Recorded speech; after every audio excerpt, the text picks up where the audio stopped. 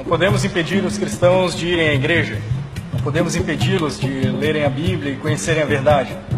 Não podemos nem mesmo impedi-los a ter um relacionamento mais íntimo com o seu Salvador. E uma vez que eles conseguem essa intimidade com Jesus Cristo, seu Salvador, nosso poder sobre eles está quebrado.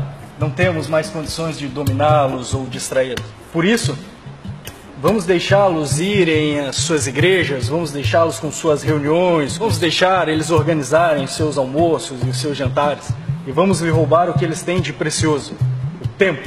Sem tempo, eles não conseguirão mais desenvolver esse relacionamento com Jesus Cristo e dessa maneira estarão fragilizados. E como faremos? O que eu quero que vocês façam é o seguinte: roube-lhes esse tempo, o tempo de maneira que não consigam desenvolver um relacionamento com Jesus Cristo. Quero que vocês criem cartazes chamativos, mantenham-os ocupados com coisas fúteis e inúteis da vida. Façam com que eles gastem, gastem, gastem cada vez mais, a pedir emprestado e se atolarem em dívida. Persuadam suas esposas a trabalharem e os maridos a trabalharem seis a sete dias por semana, de 10 a 12 horas por dia, essas jornadas não sobrarão tempo para que eles desenvolvam relacionamento com seus filhos.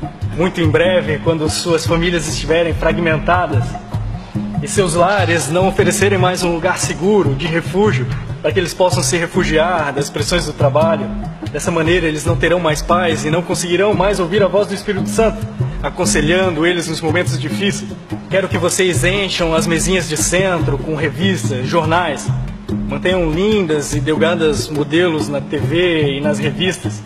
Façam com que os maridos pensem que a beleza externa é o que importa. Dessa maneira, elas não poderão mais dar o amor para os seus maridos, o amor que eles necessitam. Muito em breve, eles procurarão fora dos seus lares. E isso com certeza vai destruir as famílias rapidamente. Deles Papai Noel para que esqueçam o verdadeiro sentido do Natal. Dei para as crianças coelhos da Páscoa, para que elas nem saibam que Jesus ressuscitou e que não entendam o poder dele sobre o pecado. Quero que até mesmo quando eles estiverem se divertindo, seja feito de maneira demasiada, para que quando voltem para os seus lares, eles estejam totalmente exaustos e indispostos para irem à igreja. Mantenham-os de tal modo ocupados que não tenham tempo para caminhar junto à natureza e refletir sobre a obra do seu Criador. Mesmo quando eles forem para a igreja, quero que vocês os envolvam em mexericos e fofocas, para que quando saiam de lá, saiam com suas consciências pesadas, que não tenham atenção no culto, nem as palavras que forem ditas lá.